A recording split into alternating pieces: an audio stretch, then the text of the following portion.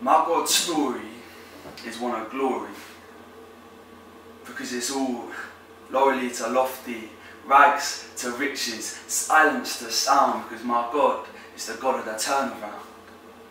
The original comeback king who is ever worthy of praise.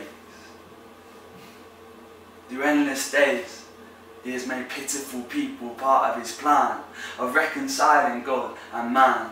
And the sands of time might change me, but they don't change him. This comeback king can do anything and everything.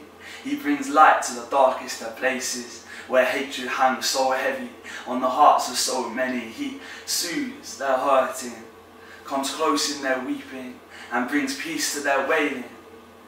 He gives strength in their struggling and speaks softly in their suffering. He can silence any storm or make endless oceans roar.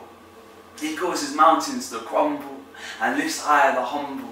With him, the impossible is possible because he can break the unbreakable, stop the unstoppable, he can beat the unbeatable. He chases the unchaseable and saves the unsavable.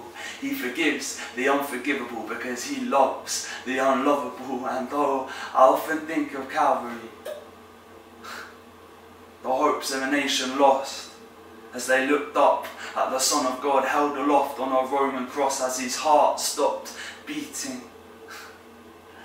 But the butchered son of a carpenter became the conquering risen Saviour as the crucified was raised to life forever and now seated high at his Father's side the Prince of Peace prepares a place for little pitiful me because my God's story is one of glory